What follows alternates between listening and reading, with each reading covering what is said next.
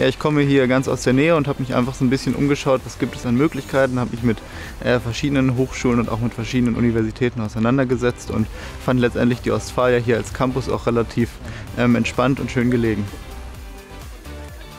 Meine Erwartungen sind, dass ich mehr in den Medienbereich eintauche und da viel Erfahrung sammeln kann. Dass man auch recht viel rauskommt und dass er abwechslungsreich ist. Und dass ich so ein bisschen meiner Kreativität einfach so ja, freien Lauf lassen kann.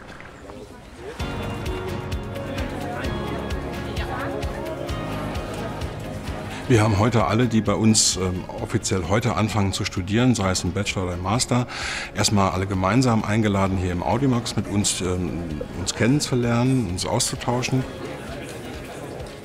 Ich glaube, es ist auch das Wesen von Hochschule. Hochschule ist ein Ort der Kommunikation, des Austausches, des Zusammenkommens. Und ich glaube, das können wir jetzt wieder erfüllen. Und das war heute ein erster Schritt in die richtige Richtung.